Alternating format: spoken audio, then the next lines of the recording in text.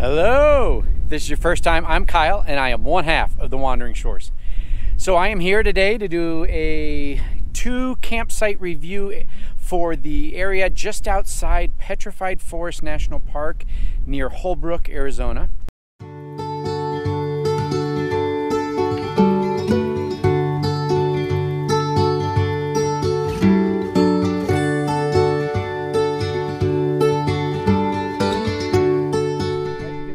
First one I'm going to show you here is Crystal Forest RV Parking and Campground. Big key here, free camping.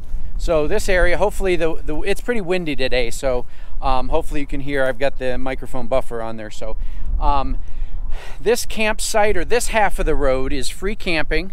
Um, I'll show you. There originally appears to have been uh, hookups, but the electrical sockets don't work. Um, so it's basically just boondocking, but it's free and you can't beat that. It, we are literally 0.6 miles away from the entrance to the national park. So let me turn you around, show you what you get. Um, coming off the road right there, you turn in here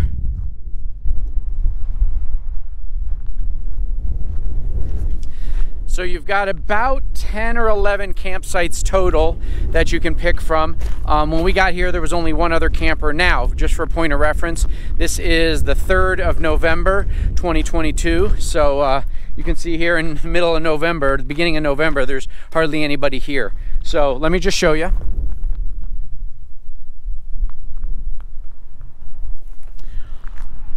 All these lots here in the center are really they're already flat. We didn't even have to use any um, levelers to get our, uh, our rig uh, level side to side. So there are huge pieces of petrified wood which is apropos for the area.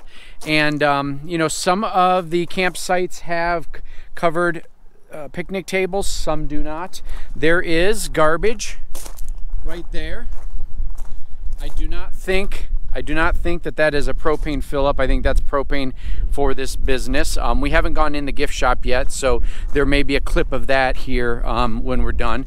But I'm going to walk across the street over to Petrified Forest Campground. Now, on Campendium, this campground is says it's $25 per night and it has electric. So let me walk you over there and show you how close All we right, are. you can that. see the sign for Petrified Forest right there, National Park.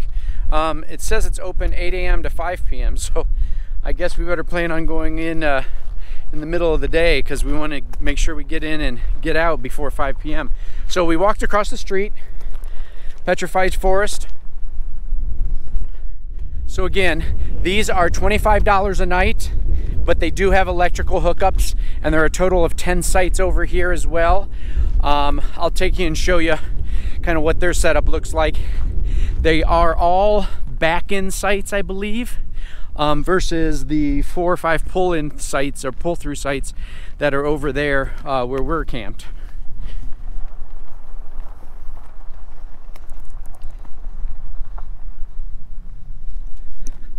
I'll probably go in there and check out, see what they got going on inside the gift shop, um, since that one appears to be open as well. Looks like the one over at ours is closed, at least it appears and uh, take you over here to show you the campsites. Um, also got to show you this car.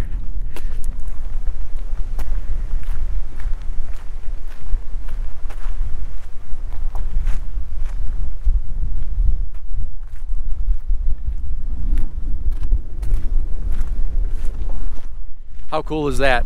So yeah, you can see here RV parking only with electricity, no cars, trucks, or tents.